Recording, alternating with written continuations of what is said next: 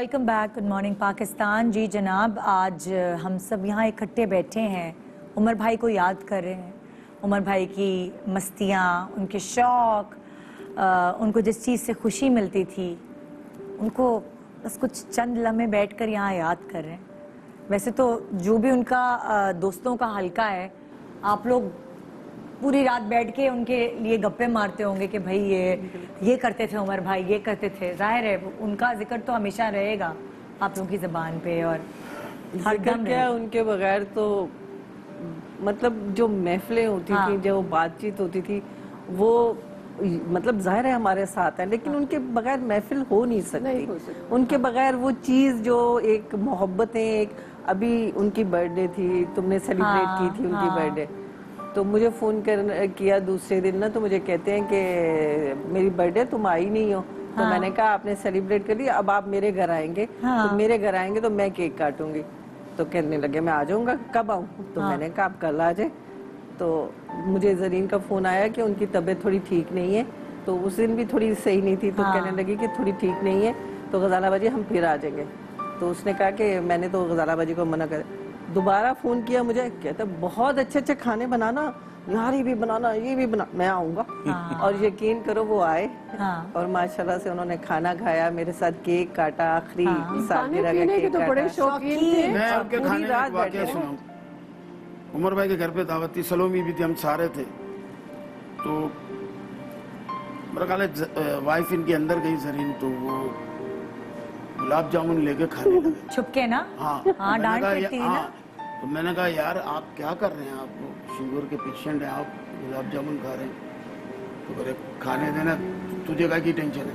तो मैंने कहा ये शुगर फ्री है? कह रहे नहीं बिल्कुल फ्री है। अच्छा बिल्कुल फ्री है। तो मैंने कहा आप फ्री हो जाओ फिर। तो हर मतलब उनको आप कोई नसीहत भी करें ना तो हाँ। उसको भी वो मज़ाक में अच्छा आप लोग मुझे एक बात बताएँ जैसे उनकी बातों पे हम सब हँसते थे। वो किसकी बातों पे हँसते थे? वो किसकी बातों पे हँसते हाँ। थे भाई हमें तो ये कभी याद नहीं कि वो किसी की बात पे वो मैं ही सच हँसते बात बताऊँ थे। आपको क्यों हाँ? हँसते? वो किसकी बातों पे हँसते थे मैं आपको बताऊँ? वो हँसते थे लियाकत सोल्जर पे। हाँ लियाकत। बेताश हाँ। तो यार ये क्या आदमी है? हम एक ड्रामा कर रहे थे लंदन से लंडा बाज़ार। हाँ। बहुत बड़ी कास्ट थी आदम जी में। हाँ। बहरोज सब्जवारी थे इस्माइल तारा थे उमर भाई थे जावेद शेख थे शफी मोहम्मद शाह थे मैं था और शहजाद रजा थे रजाक राजू थे। बहुत बड़ी कास्ट का ड्रामा था। है हाँ। सुपर ड्रामा था वो। उसमें मतलब है कि हम लोग सारे एक साथ होते थे ना जो भी उमर भाई के साथ हाँ। उसमें इन्होंने मतलब है कि एक फन की इंतहा पे पहुँचा दिया था इनको। एक दिन क्या हुआ कि ड्रामा शुरू हुआ। पब्लिक आई थी सारी लियाकत सोल्जर की। हाँ। अब ड्रामा शुरू हुआ तो एक आवाज़ पूरा हॉल कह रहा है लियाकत लियाकत लियाकत। अच्छा वो कुछ बोले ना तो रिस्पॉन्स नहीं। उमर भाई मेरे मेरी दुकान थी पठान की अपने कपड़ों की मेरे पास आके बैठ गए। आज ये अपनी पब्लिक लाया लाला। मैं कहा भाई पब्लिक तो सबकी है। कह रहे, नहीं आप कल देखिएगा शो। मैं अच्छा। दूसरे दिन शो शुरू हुआ। खुदा की कसम कोई बात लियाकत भाई की नहीं सुन रहा सिर्फ़ ओम मार ओम मार ओम।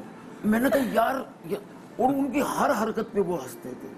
अच्छा लियाकत सोल्जर जो हैं उनकी हर हरकत पे उमर भाई हँसते थे बहुत हँसते आप थे एक, एक जुमला सुनाए। भाई आप क्या कह रहे थे? आप ये ये जो छोटे लड़के थे ना जो नए आते थे हाँ। उनको कहते थे चलो भाई मुझे हंसाओ। हाँ। अब सब आठ दस बैठे हुए हैं हाँ। तो सोफे पे बैठे हुए हैं ऐसे लाहौर वाले घर में। हाँ। कहते जो मुझे हंसाएगा उसे हज़ार रुपया दूँगा। अरे। तो अब उसमें से सबने पूरी पूरी कोशिश कर दी और दो दो तीन तीन हज़ार ले जाते थे। अच्छा। और हँसते भी थे उनकी बातों पे। बड़ा इंजॉय करते हाँ। और ये बहुत कम लोग ऐसे होते हैं कि आप पैसे दे के उनको कहो जी मुझे हंसाओ। हाँ हाँ। और उनकी हौसला अफजाई भी करनी और मदद भी कर देनी।